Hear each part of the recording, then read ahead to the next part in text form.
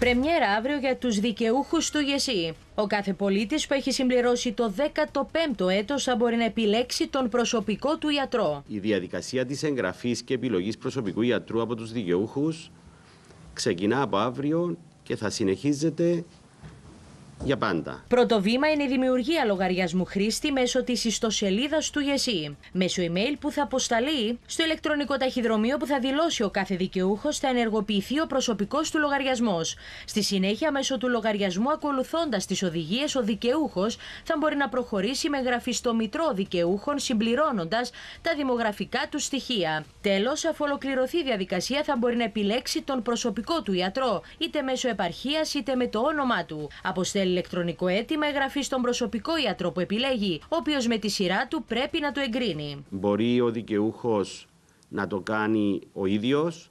Μπορεί την εγγραφή να την κάνει ένας δικός μας άνθρωπος που γνωρίζει και χειρίζεται το διαδίκτυο καλύτερα ή μπορούμε να επισκεφθούμε και τον προσωπικό μας γιατρό, ο οποίος θα μπορεί να μας εγγράψει. Σημειώνεται ότι ο κάθε δικαιούχος θα μπορεί να αλλάξει τον προσωπικό του ιατρό κάθε έξι μήνες. Σύμφωνα με τον οργανισμό θα υπάρχουν στη διάθεση των δικαιούχων αύριο γύρω στους 350 ιατρούς. Στις 6 Μαΐου ανοίγουν και οι κατάλογοι για επιλογή των προσωπικών ιατρών για παιδιά.